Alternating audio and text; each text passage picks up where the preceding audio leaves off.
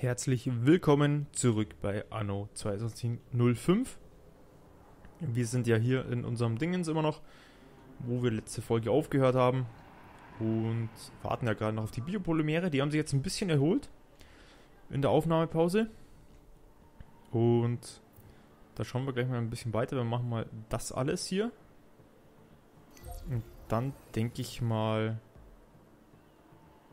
wird uns demnächst der Saft ausgehen. Huch, da haben wir auszusehen schon einen mehr, aber ist egal. Ist ja egal. So, machen wir die auch noch. Die brauchen jetzt Polizei. Jetzt haben wir noch vier Saft, den müssen wir jetzt unbedingt erweitern. Denn sonst kriegen wir ein klitzekleines Problemchen. So, schauen wir mal, wo... Natürlich fehlt es hier. Weitere Investitionen in Forschung möglich. Dadurch, dass ja hier jetzt auch mehr Bevölkerung lebt quasi. So haben wir hier überall minus 12. Aber es wird gar nichts mehr angezeigt. Jetzt sind wir wieder im Plus. Okay. Keine Ahnung. Aber jetzt brauchen wir wirklich Saft. Jetzt brauchen wir wirklich Saft, weil sonst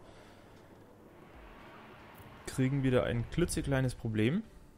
Saft kriegen wir hier. Und ihr seht schon, 1075 holen wir uns ja quasi schon aus diesem Sektor. Und dann bauen wir einfach mal nochmal ein paar Obstplantagen. Oder haben wir noch Obst? Ne, wir haben gar nichts mehr. Aber wir haben hier noch ein bisschen Platz. Nur schon, dass das mit der Energie wieder hinhaut. Zur Not müssen wir wieder ein paar Module bauen, aber mit 199 Iridium ist dann nicht viel. Transfer Transferroute Ja, machen wir so. Ursache fehlende Waren. Achtung, Unterversorgung mit bestimmten Verbrauchsgütern entdeckt. So, machen wir mal so. Haben wir noch irgendwo einen freien Bauplatz, wo wir eventuell noch ein Kraftwerk bauen könnten? Wahrscheinlich nicht.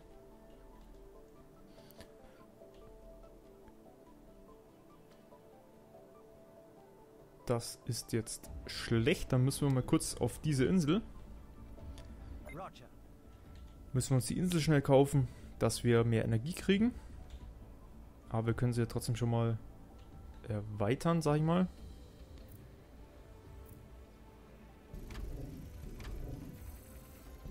Weil Saft ist halt das Problem, der wird halt relativ viel verbraucht. Wobei dann komischerweise die Nahrung relativ langsam nach unten geht. Aber Das wird dann wahrscheinlich das nächste sein, dass wir dann den den Reisverbrauch etwas erhöhen müssen oder Reisproduktion. Gebiet beanspruchen, Expansionsgebühr 2 Millionen. Na schön. Sorgen Sie dafür, dass alles, was auf dieser Insel geschieht, den Vorschriften entspricht. Naja. Wenn es so ist, dann machen wir das halt so, dann zahlen wir halt diese Expansionsgebühr. Klatschen da schnell die Dinger hin. So. Dann machen wir. Credit ist eigentlich egal. Arbeitskraft, das wäre wichtig. Dass nicht so viel Arbeitskraft verloren geht.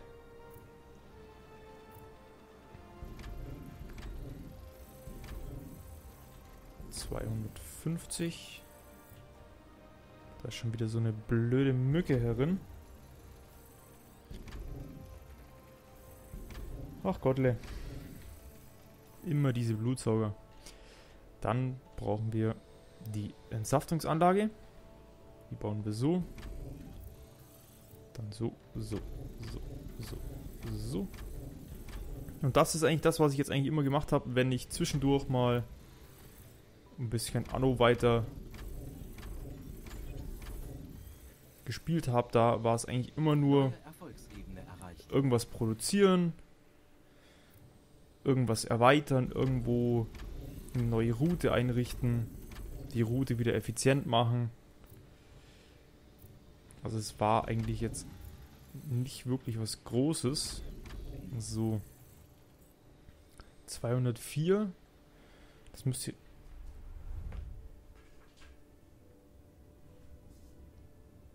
Das müsste reichen.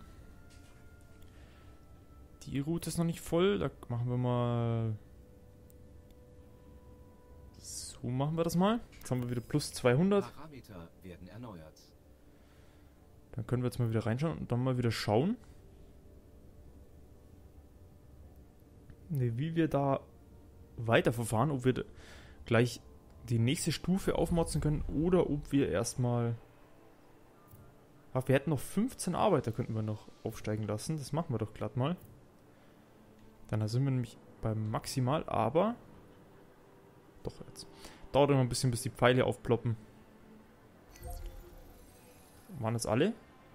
Das waren alle. Jetzt haben wir 95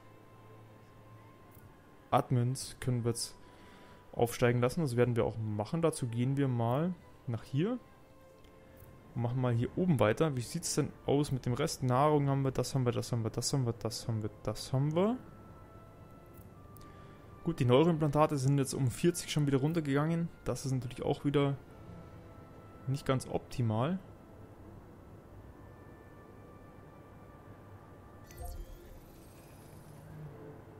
So.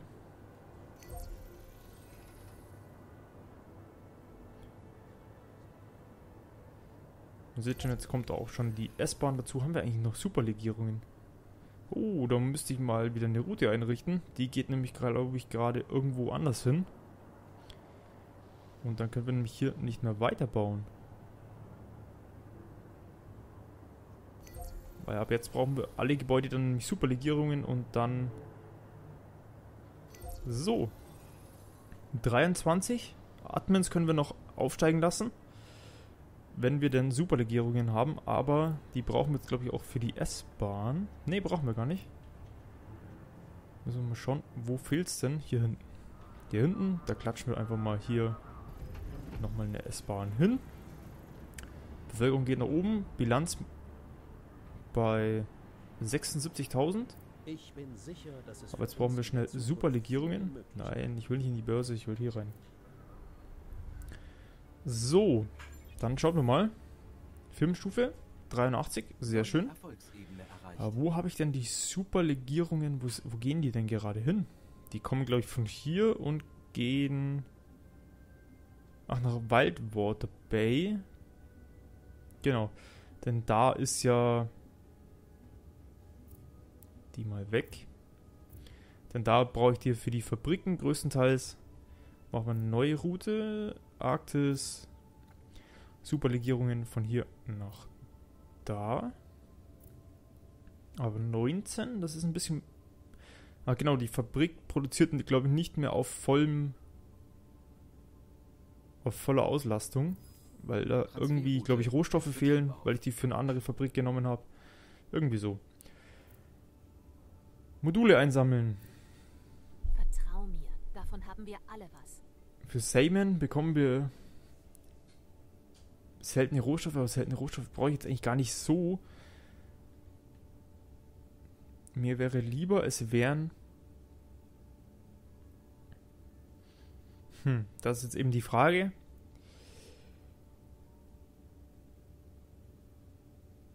Aktuelle Effekte. Ja, das Problem ist, wir kriegen den Effekt ja nur, wenn alle für eine bestimmte Firma und das ist immer.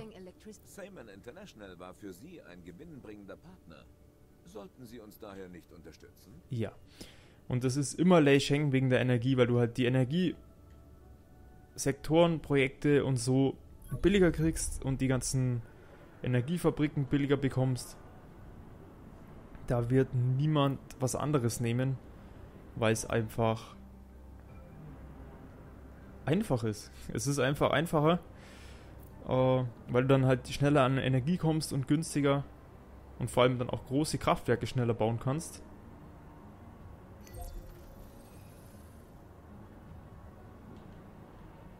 So.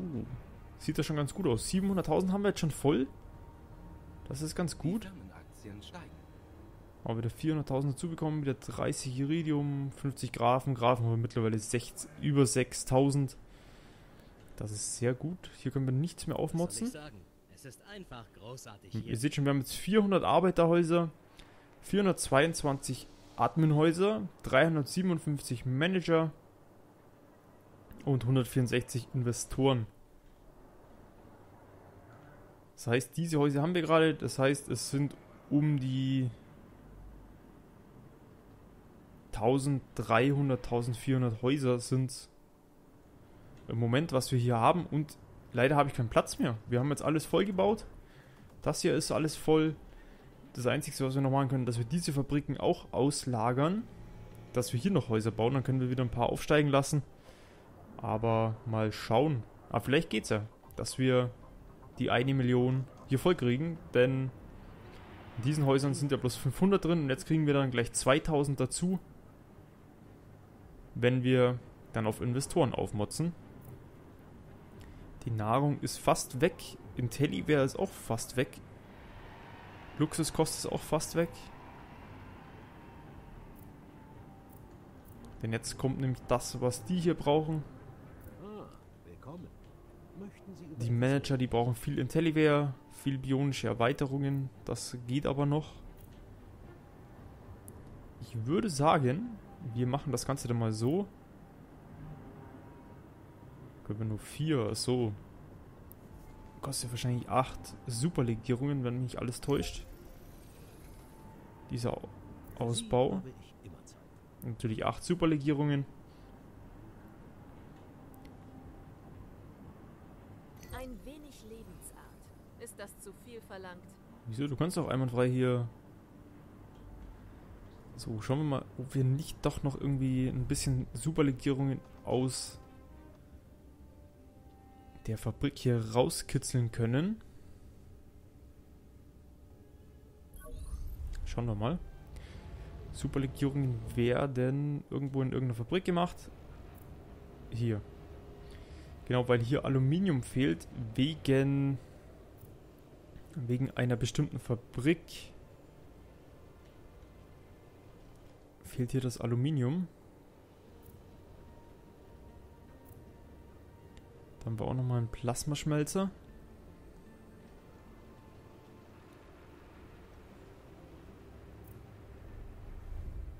Aber wir brauchen, nehmen wir mal das hier. reibungslos. Plasma verwendet Kobalt statt Molybden, aber Kobalt ist das Problem, das gibt es nur in einem anderen Sektor. Das müssten wir auch importieren.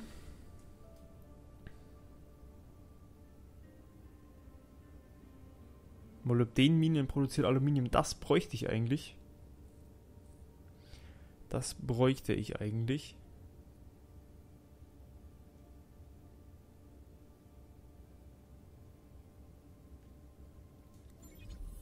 Wieder eine neue Filmstufe, wunderbar. Das sind jetzt vier Module. Die könnte ich hier hinbauen. Aber ich bräuchte das Modul auch noch. Oh, hey. Da du schon hier bist, könntest du dich gleich für mich um etwas kümmern. Ikuma-Gletscher. Methaneis, ja. Sind wir, sind wir eh gerade. Und diese Katastrophe ist eigentlich nur, dass wir jetzt für 40 Minuten nichts bauen können. Dann holen wir halt mal das Eis. Methaneis haben wir ja hier. Das Problem ist, wir brauchen noch mehr Alu.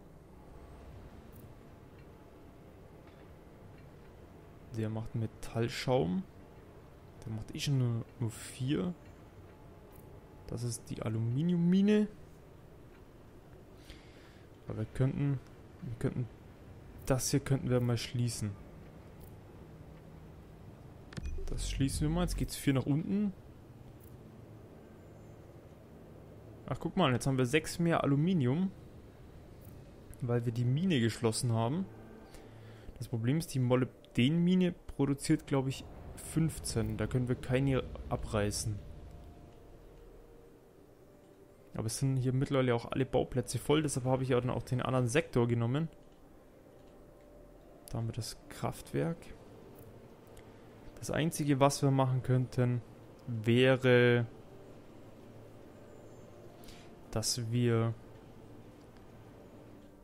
mehr Methaneis produzieren. An einem Küstenbauplatz, aber dazu brauchen wir mehr Arbeiter. Und dann ein großes Kraftwerk nochmal ausbauen, so wie das hier. dass wir dann quasi diese, dieses Ding hier wegreißen können und an der Stelle dann eine Aluminiummine. Dann müsste das gehen, aber jetzt müsste die Bilanz. Produktion 27. Okay, wir haben jetzt 8 mehr. Das ist schon mal ganz gut. Achso, ich kann ja nichts bauen. Stimmt. Stimmt. Jetzt müssen wir zweimal irgendwelche Waren transportieren. Wahrscheinlich ist die zweite Ware wieder irgendeine, die es in diesem Sektor nicht gibt.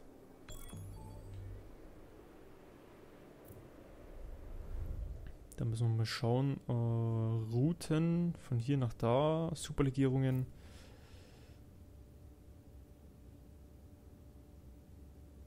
Machen wir mal so. Plus 27, dann geht wieder ein bisschen was. Optionen werden aktualisiert. Du lädst mir hier schön ab. Geringe Projektauslastung. Oh, hey. Da du schon hier bist, könntest du dich gleich für mich um etwas kümmern. Früchte aus dem Raumhaufen. Jetzt ist natürlich so, wo soll ich jetzt hier Früchte haben? Jetzt muss ich da extra wieder eine Route einrichten. Neue Route, Früchte von hier nach da.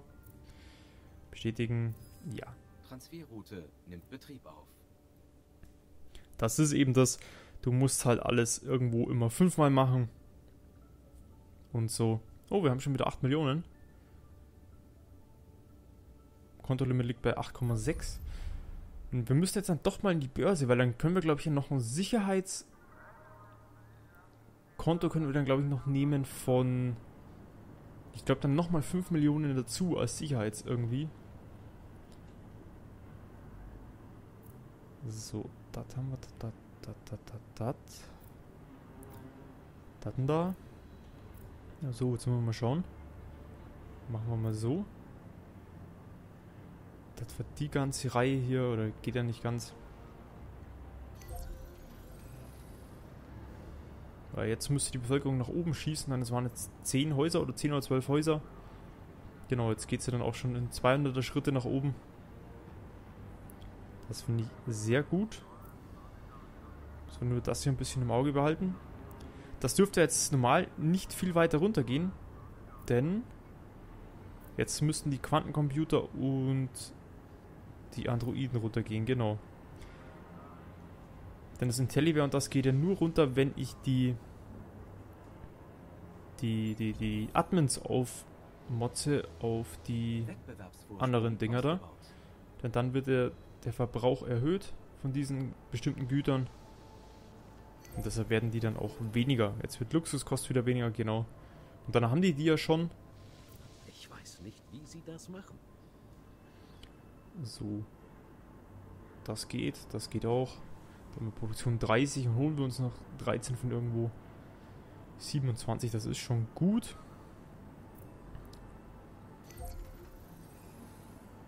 So, ein bisschen weiter noch. Und das, mit dem Reis und den Waren, das mache ich dann wieder im Off. Weil das ist dann wirklich wieder nur Fabriken bauen, Routen einrichten, Fabriken bauen, Routen einrichten. Und ein paar Häuser bauen natürlich, dass wir Arbeitskraft kriegen. Aber naja. Mal schauen, vielleicht können wir. Aber weißt du was? Nächste Folge bauen wir uns den Energietransmitter, denn wir haben jetzt hier 27.000 Energie. Durch die Bevölkerung. Angestellte produzieren 51.000 Energie und Kraftwerke habe ich null, also die produzieren gar nichts mehr. Das ist schon cool. Das machen wir mal. Walbrookbecken brauchen wir den Energietransmitter. Den machen wir dann aber in der in den anderen Welten dann auch. Da brauchen wir Fusionsenergiezellen. Die müssen wir uns vom Mond holen. Da müssen wir aber erst die Fabrik noch erweitern. Mal schauen, ob wir das die nächste Folge machen. Ich denke schon. Die Geschäftserfolge nehmen zu. So, 755.000. Dann würde ich fast sagen, wir sind jetzt bei fast 20 Minuten. Ja, wir machen, wir machen die 800.000. Schauen wir noch, dass wir die noch voll machen. Jetzt brauchen wir Stadion. Investoren. Stadion. Jetzt müssen wir erstmal schauen, wo wir wieder Platz haben. Denn das Stadion ist recht groß. Hier hätten wir Platz. Jetzt brauchen wir Polizei.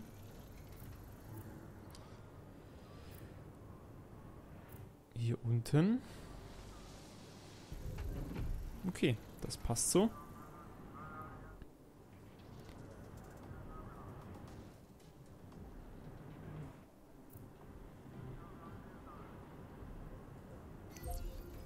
Okay, wir sollten auch mal nach hier schnell schauen. Denn die Katastrophe ist jetzt eigentlich nur für, dass wir halt für 40 Minuten nicht bauen können, aber wenn wir halt die Gegenmaßnahme starten, dann können wir halt hier einfach bauen dann.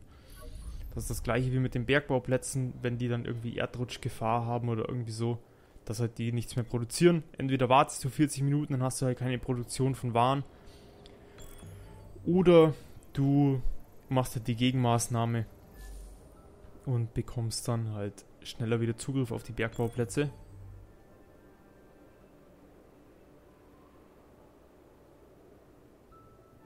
Das ist halt einfach so.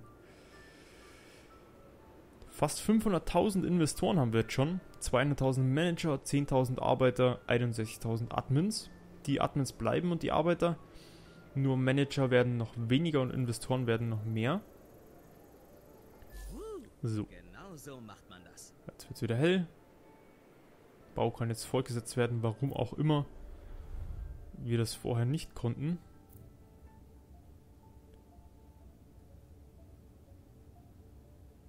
So, na, gehen wir mal rein. Das ist der Weltmarkt. Die Flotte habe ich, oh, bis auf das hier, habe ich eigentlich alle jetzt schon aufgemotzt, weil ich ja Iridium brauchte und das geht einfach schneller, wenn die Schiffe komplett aufgemotzt sind. Und da wir eh fast schon am Kontolimit waren, ist ganz gut, wenn man dann mal 1,5 Millionen Euro oder Credits sind ja mal zum Fenster rausschmeißen kann. Kriegen wir wieder fünf Häuschen dazu. Replikatoren haben wir noch. Androiden haben wir noch. Quantencoms haben wir auch noch. Schwerkraftkompensatoren haben wir auch noch. Jetzt brauchen wir wieder die S-Bahn. Oder U-Bahn ist das ja. Bei den Managern. Wo sind wir? Hier sind wir. Das Problem ist, jetzt ist halt wirklich das, die Sache, dass wir Platz brauchen. Für die ganzen U-Bahnen, die Stadien. Vielleicht bauen wir hier außen statt ein Stadion auch mal die Firmenzentrale, denn die erfüllt ja auch sämtliche Bedürfnisse. Danke für alles, was Sie für uns getan haben. Fehlende Gebäude dieser Art. Ach, wir müssen erst noch die restlichen Manager aufsteigen lassen. Da sehe ich nämlich gerade noch mal einen. Ihr seht schon, jetzt brauchen wir... Jetzt sind wir dann gleich wieder am. Limit von unserem ganzen Ding hier. Jetzt können wir noch drei Admins. Können wir jetzt noch aufsteigen lassen. Dann kriegen wir hoffentlich noch einen vierten Manager dazu, dass wir 201 Investoren dann haben. So, komm. Eine Superlegierung noch. Wunderbar. So. Jetzt können wir wieder vier Manager aufsteigen lassen. Jetzt ist aber irgendeine Ware wahrscheinlich dann aus. Das ist. Luxuskost ist wirklich niedrig. Da muss ich unbedingt schauen. Luxuskost und normale Nahrung. Okay, wir können jetzt vier Managerhäuser können wir jetzt noch aufmotzen. Dann nehmen wir mal das hier. Jetzt müssen wir ein bisschen warten. Aber die 800.000 müssten noch gehen, so wie die Bevölkerung jetzt nach oben geht und da noch drei Häuser dazukommen.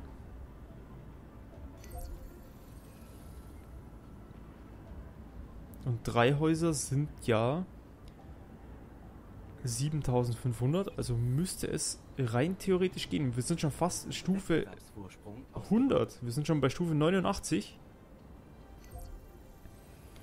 Also es geht schon ein bisschen was. Vorwärts sind wir bei 791.000 Einwohner. Wenn wir jetzt das eine Haus noch dazu bekommen, dann kriegen wir 500 schlagartig dazu. Und dann noch die 2000 restlichen. So. Jetzt warten wir kurz ab. Die Bilanz ist fast bei 200.000 wieder. Das ist natürlich sehr gut. 1,6 Millionen Bilanz. Und das Limit von 9 Millionen. Das Limit ist eigentlich immer nur die Stufe, immer plus 100.000. Also bei Stufe 98 haben, haben wir 9 Millionen. Also hätten wir normal 8,9, haben wir dann aber plus 1. So, Egal welche Vergünstigung. zufrieden. Sehr gut. Die sind alle zufrieden. Das macht mich natürlich zufrieden. Und es geht immer noch schön in 100er Schritten nach oben.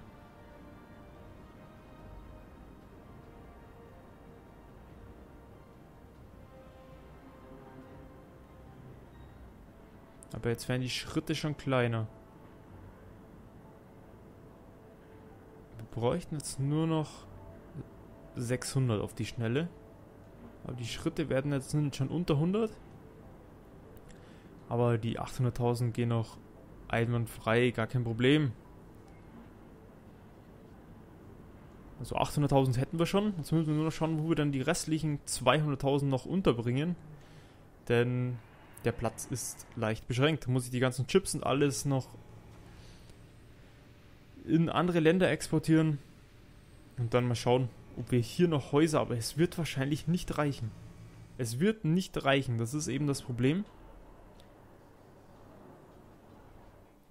Und da muss ich schauen, ob ich nicht hier vielleicht noch Häuser zwischen rein quetschen kann. Das Problem ist halt auch immer, dass wir diese U-Bahnen und das ja alles brauchen. Das ist ja eben das. Und das wird ja auch nicht weniger.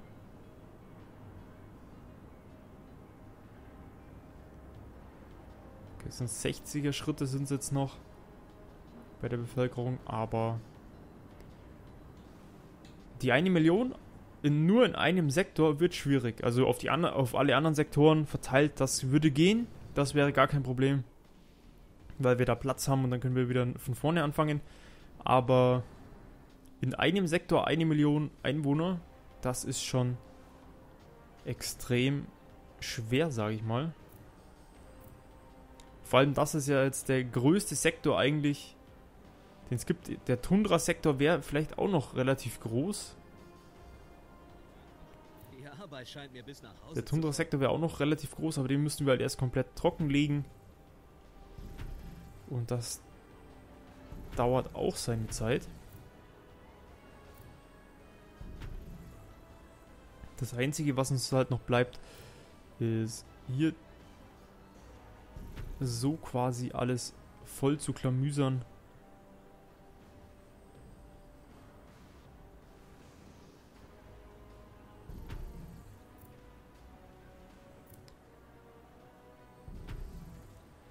Hier alles voll zu bauen, dann können wir wieder ein paar mehr aufsteigen lassen.